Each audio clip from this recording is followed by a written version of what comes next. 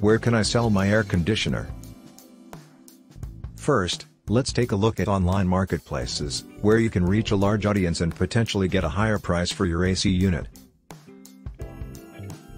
Platforms like eBay, Craigslist, and Facebook Marketplace allow you to list your air conditioner and connect with potential buyers in your local area.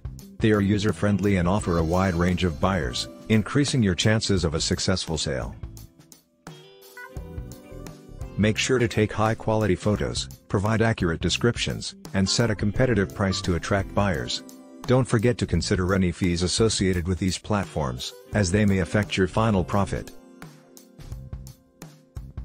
Websites like Appliance Exchange are specifically designed for buying and selling appliances, including air conditioners. These platforms often have a targeted audience, making it easier to find interested buyers and negotiate a fair price. When selling on specialized platforms, make sure to highlight the features and condition of your air conditioner. Consider providing any warranty or maintenance records to build trust with potential buyers. Many local appliance stores offer buyback or trade-in programs. They may be interested in purchasing your air conditioner, especially if it's in good condition and a recent model.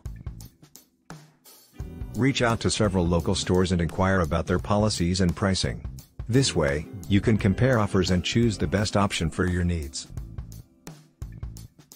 And that wraps up our guide on where to sell your air conditioner. I hope you found these tips helpful and that you can now confidently sell your AC unit and make some extra money.